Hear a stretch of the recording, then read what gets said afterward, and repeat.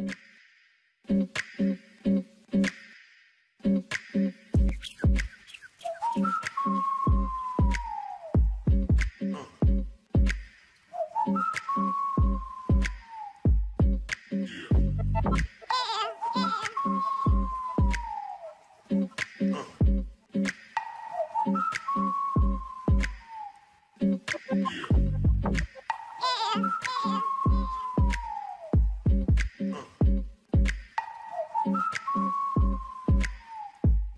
Yeah.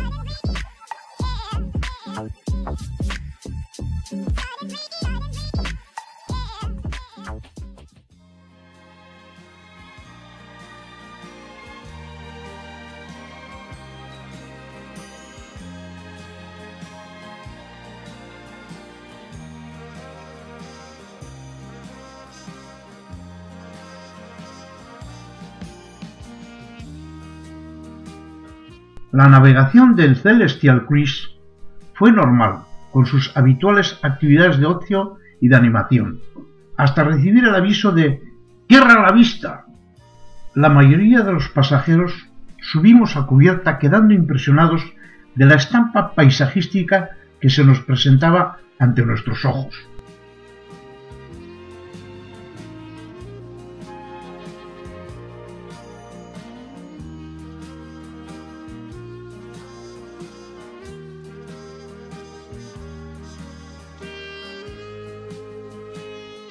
Todos nos disputábamos las primeras filas de los miradores de cubierta en proa, para que con nuestras cámaras de fotografía y vídeo pudiéramos obtener las primeras imágenes de las maravillosas vistas que nos ofrecía la magia de este paisaje que nos desbordaba.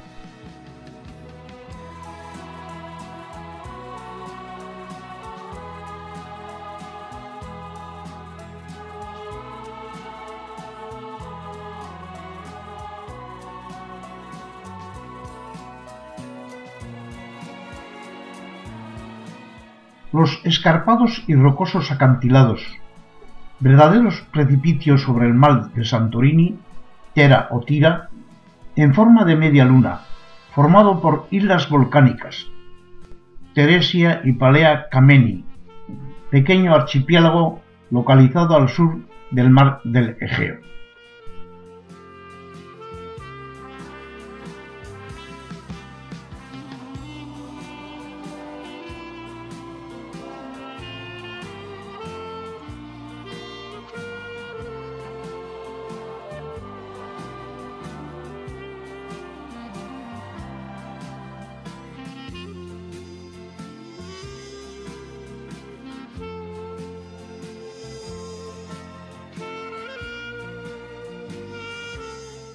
Ante esa brisa marina que envuelve nuestros rostros y mueve los cabellos, miramos impresionados los perfiles de los acantilados que arriba, desde lejos, se marcan las casitas blancas de los pueblos.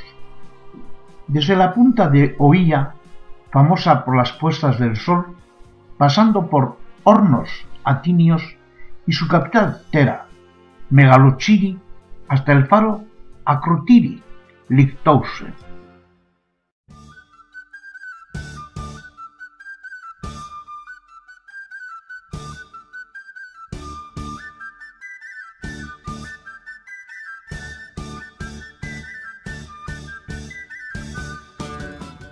la bahía que forma la isla de Santorini es el cráter del volcán que dio lugar a la forma de las islas. Y es tal la profundidad marina que los buques a la hora de fondear se encuentran con dificultades al utilizar sus anclas, teniendo que mantenerse en constante maniobra para evitar quedar a merced de las corrientes.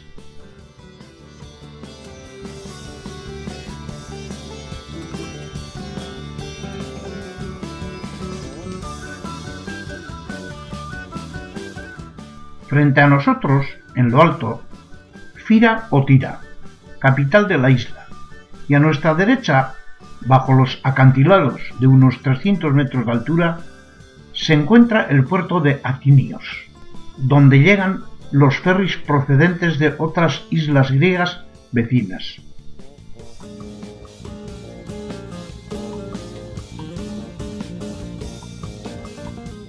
Bajo la capital se encuentra también el viejo puerto de Fira, donde se dirigen algunos de los cruceros. Existe un servicio de funicular y es típico también el acceso en caballos, que en capítulos posteriores trataremos.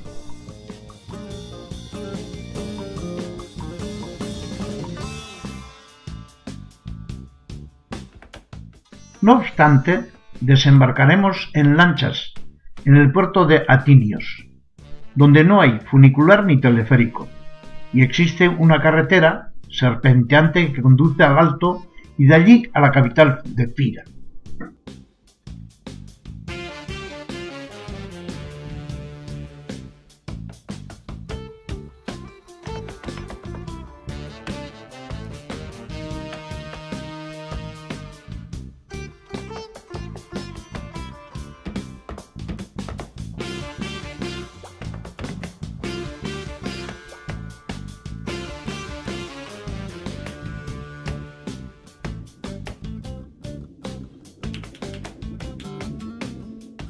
A través de las serpenteantes curvas desde el autobús, cada tramo nos permite disfrutar de una visión o perspectiva distintas del paisaje hacia el mar, el litoral, sobre las islas, buques y veleros que se hallan en plena bahía.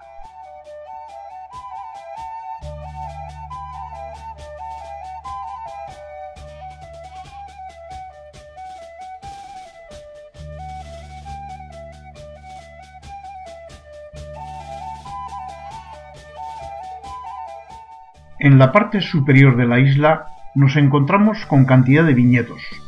La producción de vino no es que sea en grandes cantidades, pero la calidad del suelo y la forma particular de cultivo hace que los vinos de Santorini sean de extraordinaria calidad.